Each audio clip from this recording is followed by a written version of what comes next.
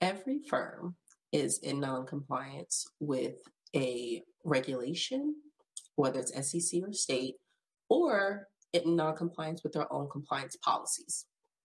And when I say every, I, I, do mean every. There are so many different rules, regulations that it can be difficult to make sure that you're adhering to everything.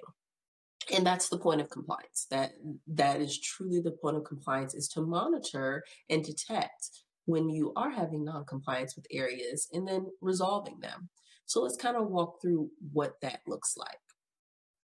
The first thing that you need to do when you find out that you're in non-compliance is resolve the issue.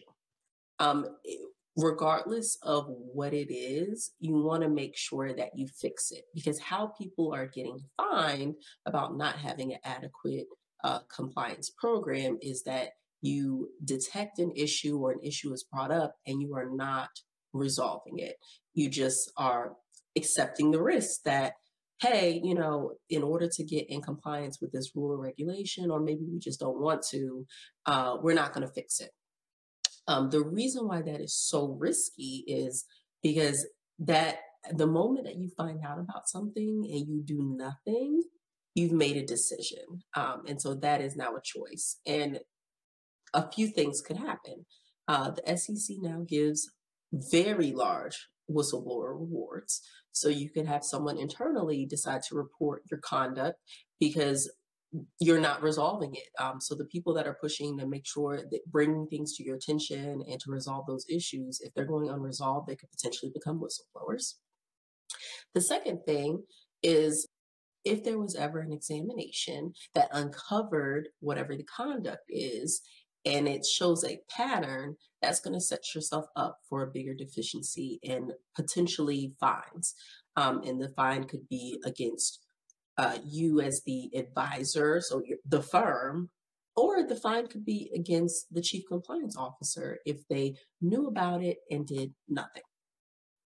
The second thing that you need to do is fix the process. So, whatever allowed the issue to happen, we need to make sure that we are fixing that process. That might mean we need new procedures. That might mean we need to draft new policies. That might mean that we need to put in some preventative controls in place. Maybe you're in noncompliance because you just simply did not know that the rule changed. That's a simple fix. Let's make sure that we're subscribing to the SEC notices um, in industry blogs so that you're up to date in getting the information you need to make sure that you have a robust compliance program. The third thing that you need to do once you fix the process is you need to train to the process. So, whoever is responsible for implementing the process or, or who is responsible for parts of the policy, you want to make sure that those individuals are aware of their responsibility and they are also involved in the resolution of fixing the issue. The next thing that you want to do is document the situation. So everybody should have a compliance exception folder. Um, and you want to document by just doing a memo to file that identifies what the issue was, why it was an issue. So if you were in non-compliance with a, a, policy or a particular regulation, you want to make sure that you you've identified that. Um, and then also documenting what you did to fix it. And these are internal records. However, um, the first thing that they're going to ask for if you have an examination is a record of any compliance exceptions. Um, and so that's the time where you would want to provide that information to whatever regulatory body is um, asking for it.